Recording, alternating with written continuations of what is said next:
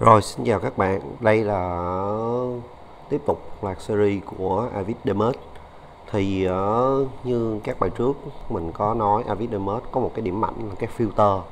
Ở đây mình sẽ bài đầu tiên này mình sẽ chỉ cho các bạn về chuyển đổi file ảnh sang file video.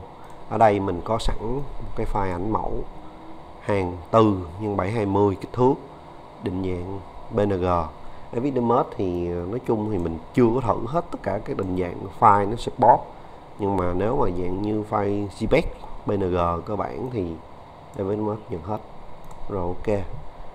Các bạn sẽ thấy khi mà ném cái file hình vô mặc định á, cái duration của nó chỉ có 4 0,04 giây khá là ít.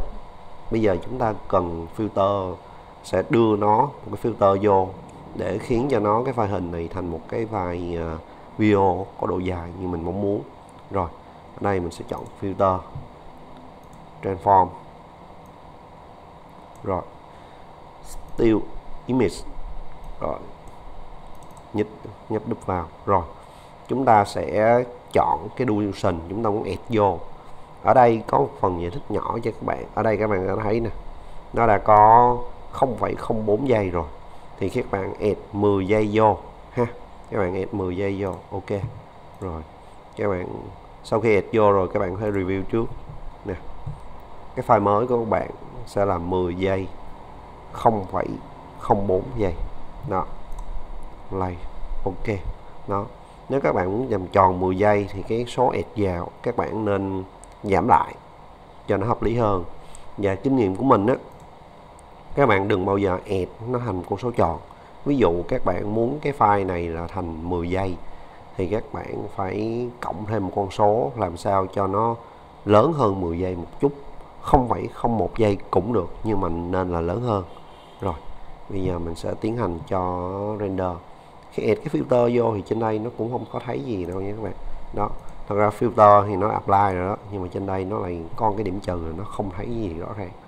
Rồi, ok mình sẽ tiến hành render nó. Save file.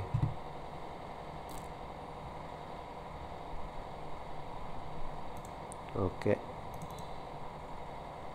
Đây file 10 giây. Kiểm tra lại. Property metaphor. Rồi đây. Các bạn thấy không? Trong cái Avid Image nó ghi rõ là có 0,04 giây nhưng mà lên đây thật ra nó chỉ còn tính toán là có đúng 10 giây thôi. Rồi.